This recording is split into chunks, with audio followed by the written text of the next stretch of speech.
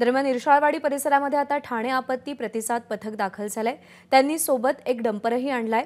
मात्र बेस कॅम्पच्या पुढे कोणीही जाऊ शकत नसल्यानं किंवा कोणतंही वाहून जाऊ शकत नसल्यानं टीम पायीसवर निघाली आहे. याचा आढावा घेतलाय अमेय राणे यांनी. इर्शारवाडी दुर्घटनाग्रस्त झालेल्या ठिकाणी आता टी डी आर एफची सुद्धा टीम पोहोचलेली आपण बघू शकतोय की ठाणे आपत्ती प्रतिसाद दल हे आता इथं पोहोचलेलं आहे. कालसुद्धा पहिल्या पोहोचणाऱ्या रेस्क्यू टीममध्ये या दलाचा समावेश होता आणि ते दल आता पुन्हा एकदा इथं पोहोचलेलं आहे. आपण बघू शकतोय की एक बस त्यांची आलेली आहे आणि त्यांचे जे रेस्क्यू टीममधले सहकारी मेंबर्स होते ते वरती पायी चढण्यास त्यांनी सुरुवात केलेली आहे.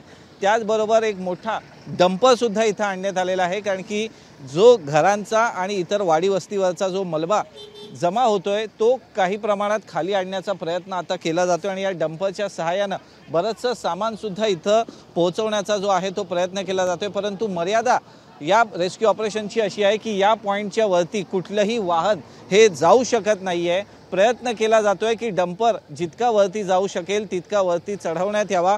जेणेकरून या रेस्क्यू ऑपरेशनमध्ये काहीशी मदत होईल. परंतु नैसर्गिक इकडची भौगोलिक परिस्थिती अशी आहे की या पॉईंटच्या वरती एखादं वाहन जाणं अतिशय कठीण आहे. त्यामुळे इथून संपूर्ण बचाव दलाला पायी एक तासभराचा प्रवास करतच वरचं अंतर कापावं लागतंय. आणि जी घटना घडलेली आहे त्या ठिकाणी पोहोचावं लागतंय.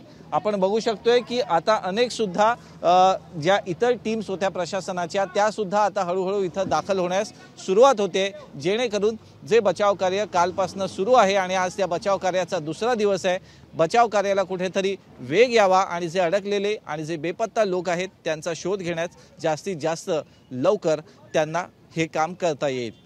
कॅमेरामन अनिल पवार सामे राणे एबीपी माझा खालापूर. एबीपी माझा. उघडा डोळे बघा नीट.